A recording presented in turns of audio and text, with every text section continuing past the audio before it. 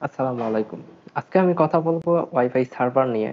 তো ওয়াইফাই সার্ভারটি আজকে আমি নিজে থেকেই আপনাদের প্র্যাকটিক্যালি তৈরি করে দেখাবো। তো ভিডিওটি আপনারা সম্পূর্ণ দেখুন। তাহলে বুঝতে পারবেন কীভাবে একটি ওয়াইফাই সার্ভার তৈরি হয়, তৈরি করতে হয়। তো এর মধ্যে আপনাদের একটা টিপস জানাই দেই। যেমন, আপনি যদি ওয়াইফাই সার্ভারটি তো তৈরি করা দেখবেন এখানে, কিন্তু দেখা শেষে আপনি যদি চান যে আপনার বিনা খরচে সার্ভারটা রান করবেন, তাহলে আপনি রাউটার থেকে সার্ভারে কানেকশন দিবেন, তাহলে আপনার আর আইএসপিকে অতিরিক্ত টাকা দিতে হবে না। কিন্তু আপনি যদি অনু বা এমসি থেকে আপনার সার্ভারে লাইন দেন, তাহলে আইএসপিকে প্রতিটি আইপির জন্য আলাদা আলাদা বিল দিতে হবে। তো এটা একটু মনে রাখবেন। তো এখন আমরা চলে যাই মূল পর্বে। কীভাবে প্র্যাকটিক্যালি সেট করতে হয় কনফিগার করতে হয়, আমি আপনাদের এখন দেখাই দেব। এই সার্ভারটি তৈরি করতে আপনাদের যে যে ডিভাইস প্রয়োজন, আমি এক নজরে দেখাই নিচ্ছি। ফার্স্ট টাইম আপনাদের প্রয়োজন হবে একটা ওয়াইফাই সুইচ এগুলোকে বলে ওয়াইফাই সুইচ এবং এই ওয়াইফাই সুইচের সঙ্গে আপনারা এরকম একটি অ্যাডাপ্টার পেয়ে যাবেন। এটা হলো ওয়াইফাই সুইচ এবং অ্যাডাপ্টার এরপর আপনাদের লাগবে হচ্ছে মিডিয়া কনভার্টার এগুলোকে বলে কি? মিডিয়া কনভার্টার এগুলো জোড়া হিসেবে পাবেন। প্রতি জোড়ার দাম আপনাদের হচ্ছে বারোশো তেরোশো টাকার মতো। আর এই মিডিয়া কনভার্টারগুলো থাকে দুইটা করে এবং মিডিয়া কনভার্টারের সঙ্গে আপনারা পেয়ে যাবেন চার্জার তারপর আপনাদের লাগবে কিছু এই রকম শর্ট কেবল এগুলো হচ্ছে ল্যান্ড কেবল শর্ট কেবল অনেকে অনেক নামে বলে, তবে এগুলো ক্যাট সিক্সের তারের শর্ট কেবল আর এছাড়াও আপনাদের প্রয়োজন হবে কিছু ক্যাট সিক্সের তার। এই যে এগুলোকে বলে ক্যাট সিক্সের তার, এর ভিতরে আটটা করে তার থাকে, এগুলোর প্রতি মিটার হচ্ছে বারো টাকা করে। বারো টাকা, তেরো টাকা এরকম দামে পেয়ে যাবেন। এরকম ক্যাট সিক্সের তার লাগবে কারণ আপনার গ্রাহকের বাড়িতে লাইন দিতে দেখা যায় অনেক সময়। এর সাথে আপনাদের লাগবে কিছু অপটিক্যাল ফাইবার তার। এখানে দেখানো যাচ্ছে না অতগুলো, আমি অল্প নিচ্ছি তাও দেখানো যাচ্ছে না। তো এই দেখেন, এই যে এগুলো হচ্ছে অপটিক্যাল ফাইবার তার। এই অপটিক্যাল ফাইবার তার লাগবে আপনার কিছু পরিমাণ। তো এখন দেখাই কীভাবে সার্ভারটা তৈরি করবেন। তো মোটামুটি আপনাদের প্রত্যেকের বাসায় এইরকম সেট আপ রয়েছে। যে হয়তোবা অপটিক্যাল লাইনটা এসে অনুতে ঢুকেছে এবং অনু থেকে একটা যে ক্যাট সিক্সের লাইন বের হয়ে এসে রাউটারে ঢুকেছে। অথবা দেখা যায় যে অনেকের এই অনুর জায়গায় এমসি থাকতে পারে। এমসি থেকে ওই একই রকম, এই রকম একটা লাইন এসে আপনার রাউটারে ঢুকেছে। আপনারা যে কাজটা করবেন, এই রাউটারে থাকা যে লাইনটা এটা খুলে নেবেন। আমি এটা খুলে নিয়ে দেখাচ্ছি। এই যে লাইনটা এটাকে নিয়ে আপনারা খুলে নেবেন, নিয়ে সুইচের একটা পোর্টে দিয়ে দেবেন। শুধু অনুর লাইনটা এখানে দিয়ে দেবেন, এতটুকুই। আর যে কাজটা আরেকটা করতে পারেন, এখান থেকে আরেকটা লাইন নিয়ে এখানে দিয়ে দেবেন। তার মানে এখান থেকে এই রাউটারটাও এখন চলবে। আর বাকি কাজটা আমি আপনাদের অন্যভাবে দেখাচ্ছি। প্রথমত তো আপনার অনু থেকে আপনি এখানে একটা লাইন দিয়ে দেবেন, অর্থাৎ এই সুইচের মধ্যে একটা লাইন দিয়ে দেবেন। এখন বাকি যে পোর্টগুলো থাকে, মনে করেন এই পোর্টটা আপনি অনু থেকে দিয়ে দিচ্ছেন অর্থাৎ আমি দেখা দিচ্ছি। যে মনে করেন যে এই তারটা এসেছে আপনার অনু থেকে।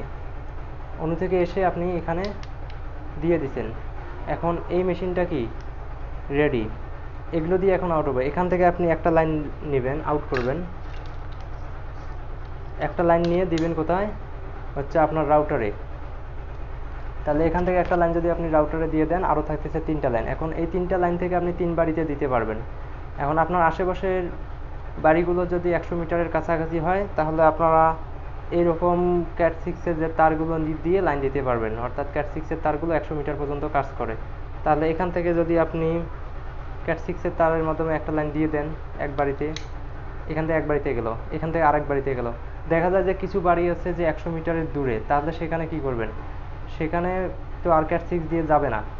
হ্যাঁ সেখানেও লাইন দেওয়ার ব্যবস্থা রয়েছে। কারণ যখন আপনার দূরত্ব একশো মিটারের বেশি হবে, এক কিলো, দুই কিলো, পাঁচ কিলো, দশ কিলো হবে, তখন আপনি একটা প্রসেসে সব করতে পারবেন।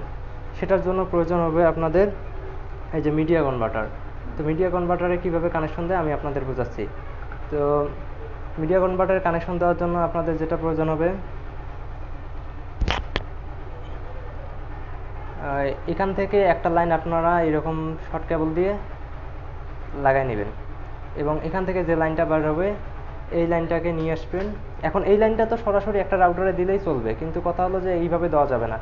এখান থেকে এই লাইনটাকে আপনারা সরাসরি এইরকম মিডিয়া কনভার্টারে দিয়ে দিবেন। মিডিয়া কনভার্টারে দেওয়া হলে এই যে মিডিয়া কনভার্টারের এখানে দেখেন যে একটা টিএক্স সিস্টেম আছে টিএক্স লেখা। টিএক্স এবং আরএক্স হয় টিএক্স হচ্ছে ট্রান্সফার আরএক্স হচ্ছে রিসিভ তো এখান থেকে অপটিক্যাল ফাইবারের মাধ্যমে, অর্থাৎ এখানে প্যাসপোর্ট লাগবে, তারপর এই যে আমি যে অপটিক্যাল ফাইবারগুলো আপনাদের দেখাইছি, এই যে অপটিক্যাল ফাইবার তো এই অপটিক্যাল ফাইবারগুলো হচ্ছে আলো বহন করে। অপটিক্যাল ফাইবারের একটা মাথা নিয়ে দেখাই।